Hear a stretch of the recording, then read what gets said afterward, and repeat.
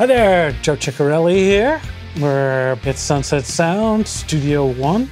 We're gonna revisit a track that I did some years ago with Alanis Morissette called Guardian. So I like to get a sense of the big picture, and then I'll strip it down and work from there.